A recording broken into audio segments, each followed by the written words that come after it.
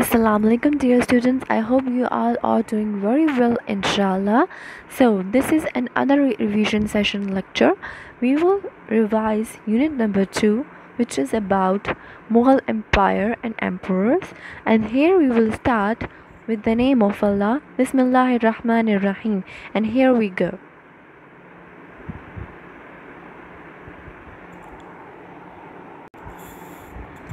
so we will discuss about unit number 2 Jalaluddin Muhammad Akbar revision session.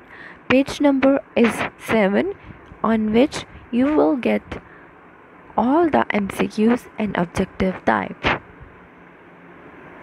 Now we will discuss all the short question answers and we will do a revision of these short answer questions which we have studied earlier and have learnt by heart already.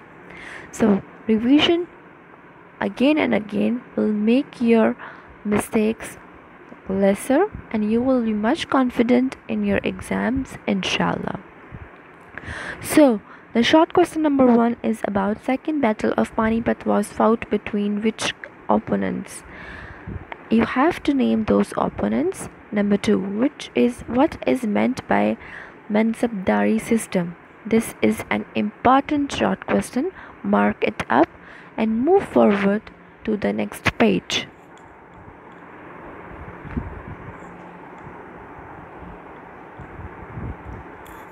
The next page will contain or contain all the remaining short answer questions.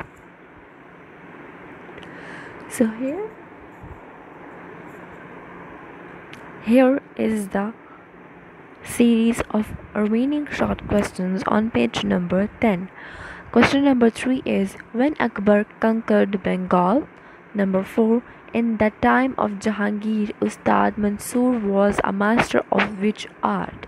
Number 5 Write down the names of important buildings representative of the culture of Shah Jahan's reign.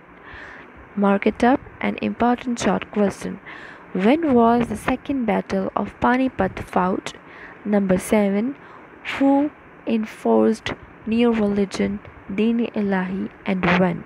Number 8. Who was the ancestors of Nur Jahan? Number 9. Which book of Jahangir is famous